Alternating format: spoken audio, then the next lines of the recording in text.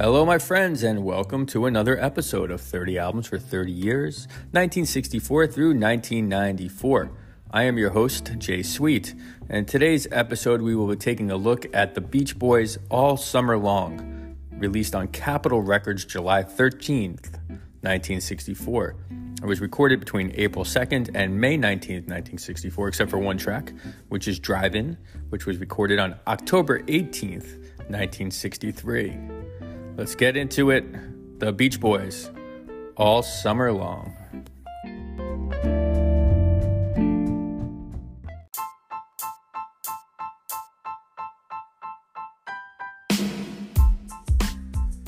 Okay, so the Beach Boys. Well, the surviving Beach Boys are now more like beach great grandpas.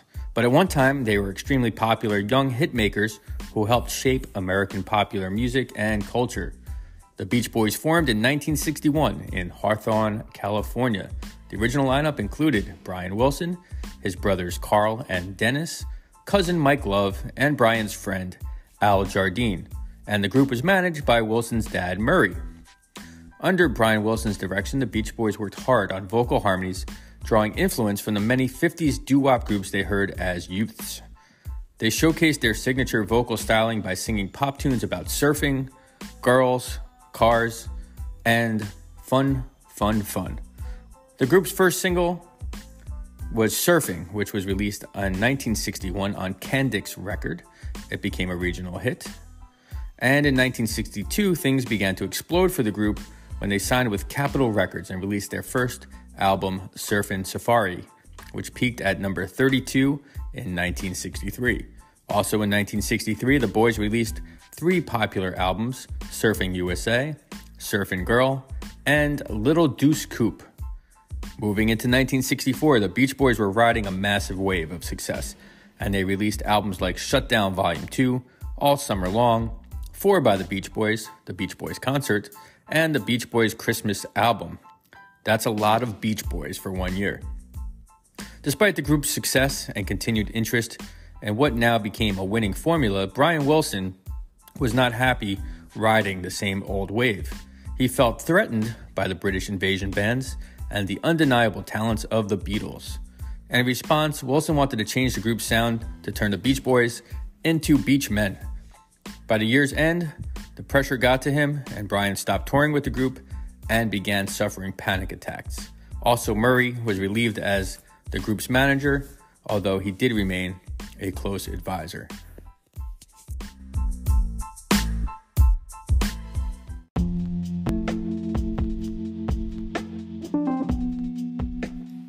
The album that most exemplified the beginnings of a new direction for the Beach Boys was All Summer Long which charted at number four on the Billboard charts. It was the first album to start to incorporate themes that were not only related to surfing and cars and girls and beachy kind of things. It was also one of the first concept albums with pieces that drew from Wilson's experiences as a typical Southern California teenager. For the album, Brian Wilson spent a great deal of attention showcasing stronger harmonies and more advanced arranging characteristics. While discussing the album, Brian Wilson mentions the following We need to grow. Up to this point, we milked every idea dry. We did every possible angle about surfing and then did the car routine. But we needed to grow artistically. This change in direction would result in two of the Beach Boys' most creative efforts following all summer long, which include the albums Today in 1965 and the masterpiece Pet Sounds. But it all began with this record all summer long.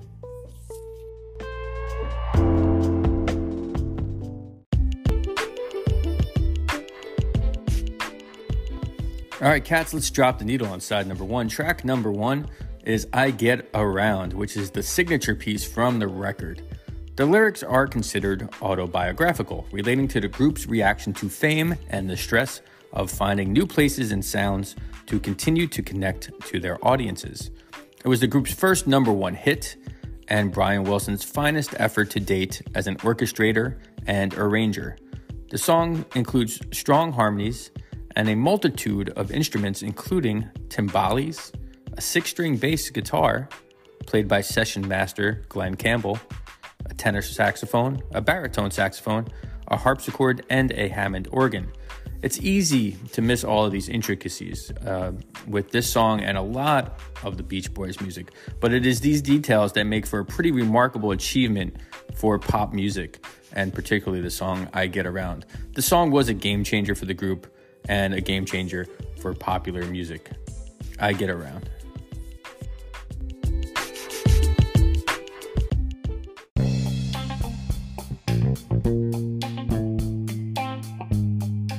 Track number two is All Summer Long, which was written by Brian Wilson and Mike Love. It was released as a single in the UK, but did not chart highly.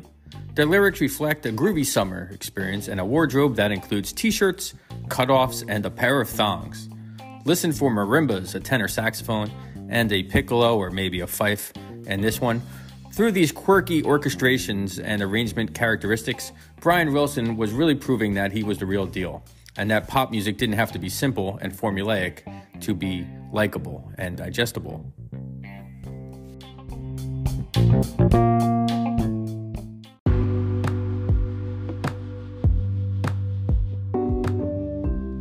This next track is Hushabye, which was a cover of the Mystics' 1959 doo wop hit.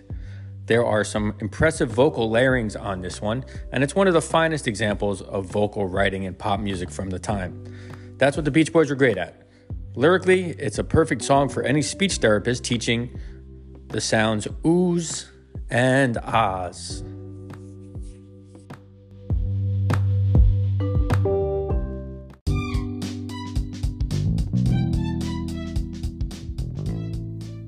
Track number four is Little Honda, which sounds like a commercial for the merits of the nimble Honda scooter, which the Beach Boys were a fan of. No Harley Davidsons for these beach bums. Although not a hit for the Beach Boys, the US surf rock band The Hondells scored a top 10 hit with the song and named their first LP Little Honda, that was on Mercury Records. They were all in on the Honda experience, apparently. It's kind of a goofy tune, but it is made palatable by Brian Wilson's arranging and production brilliance. Let's take a ride on the little Honda.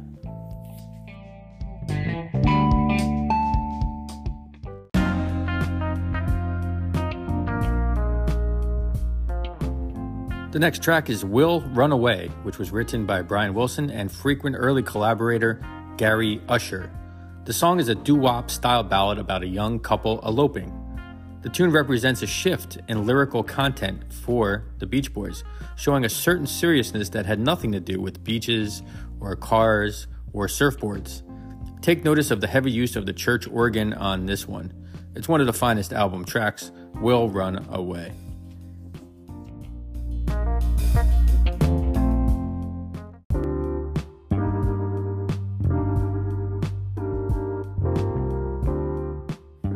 The final track of side one on the original LP is Carl's Big Chance, which is an instrumental track meant to showcase Carl Wilson's guitar playing.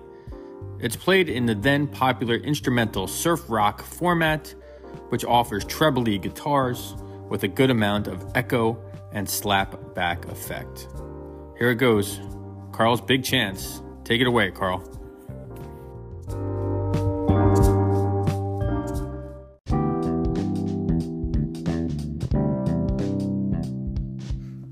All right, guys, flip the record and drop the needle on side number two, track number one, and the song is Wendy, which is about a cheating girlfriend.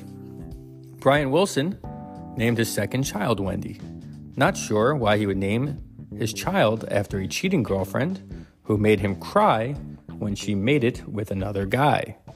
Wendy Wilson found her own fame as a member of the 1990s pop group Wilson Phillips. The song Wendy offers some advanced harmonies and a well crafted key change. You can also hear a cough or a sneeze at around a minute and 20 seconds, and some light chatter behind the organ solo. Wendy is an incredibly layered piece for the time, and the song was originally credited to only Brian Wilson, but Mike Love sued Wilson for shared rights to the piece, and his name was added. The song peaked at number 44 on the Billboard charts.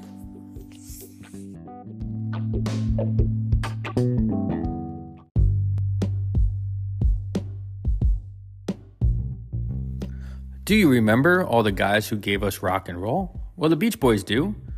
And this song, Do You Remember, which is a tribute to 1950s rockers like Little Richard, Chuck Berry, and Elvis Presley. One of the more interesting mentions is that of Danny and the Juniors, a Philadelphia doo wop band that scored the hit At the Hop. It's really cool when a song's lyrics make mention of the past.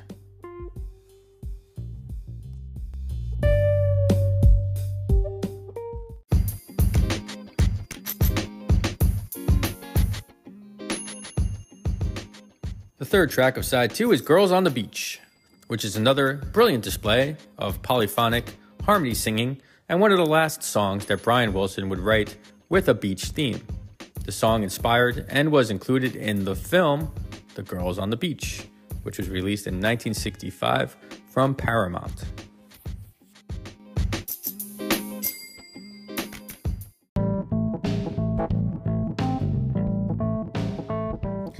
Track 4 of side 2 is Drive In, which celebrates the group's love of the drive in movies and the make out culture surrounding this mostly obsolete experience of seeing a movie from the discomfort of your car.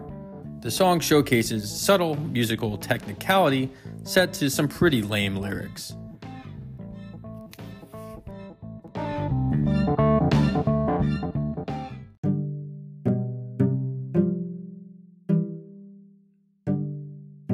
This next cut is our favorite recording session, which offers a bunch of outtakes and studio goofiness. There's really not much to say about this, but it is interesting to hear the boys interacting.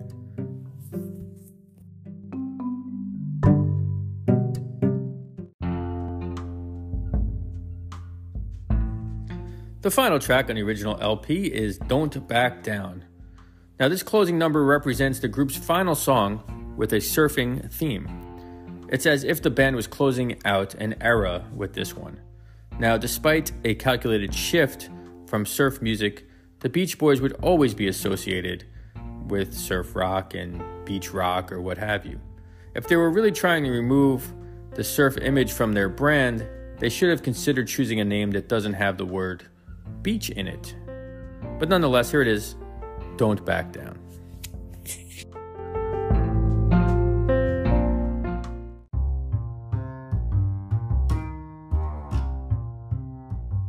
All right. I know many of you like when I do this. We did it. We made it to the end of the record. And guess what? We are better for it. So lift the record off of the player and put the record back in its jacket and back on the shelf. And in conclusion, All Summer Long was still poppy and marketable to bleached blonde teens everywhere. However, hidden in what could have easily been considered frivolous commercial fluff are some remarkable harmonies and orchestration characteristics from the group's true genius, Brian Wilson. And as previously mentioned, the album was a success, charting at number four on the US Billboard charts.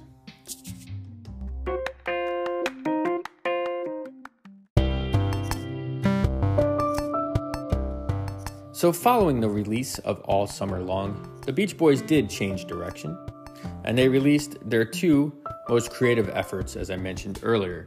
The first was the album Today from 1965, and then the masterpiece Pet Sounds from 1966.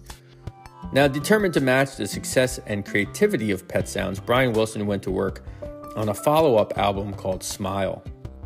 During this time, his mental state worsened and it was heightened by addiction. The album cost the studio and the Beach Boys a ton of money and was held from release. By 1967, the Beach Boys fan base was split into two, with some favoring Brian's more creative efforts and others wishing to return to their earlier sound. That year, the group released a more simplified album, Smiley Smile, which failed to chart higher than number 41 in the US, and then they quickly countered the disappointment with a soul influenced album called Wild Honey, 1967. This sold better, but still showed a decline in the group's popularity.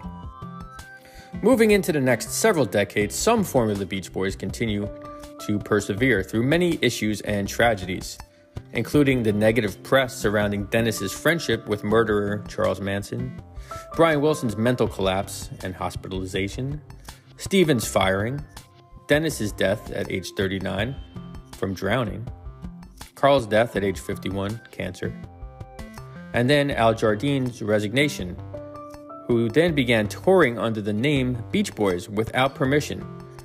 Then there was Brian Wilson's firing, a multitude of lawsuits, and several failed albums. Some hits were thrown in. There was an induction into the Rock and Roll Hall of Fame, and a successful touring schedule did allow the Beach Boys to work for over 60 years.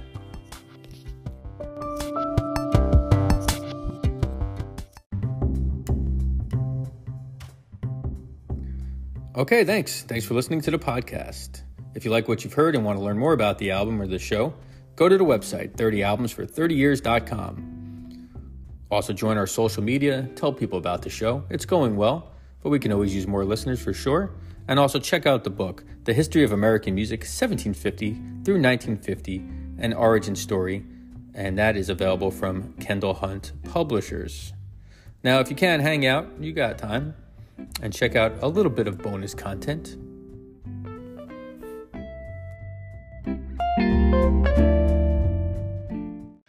Hey guys, thanks for sticking around for the Jay Plays bonus section. That was cool of you to, to hang in there. Uh, in this section, I usually take a song from the album and reinterpret it. Uh, the obvious choice was I Get Around being the album's biggest hit. So, my concept um, on this one was to sort of pay tribute to Brian Wilson's uh, unique way of layering uh, different instruments. So I put a, a, decent amount of tracks on this. You'll hear some slide guitar at points, and you'll hear uh, the bass doubling the melody, and just uh, a bunch of different little little things um, that you can listen for. And then uh, I wanted to sort of keep a beachy kind of a feel, so I put a little bit of a reggae groove on there with a drum beat that's kind of a quasi hip hop kind of thing. So this was a fun one to do. Uh, again, these are just home recordings that I do, um, and I hope you enjoy my version of I Get Around.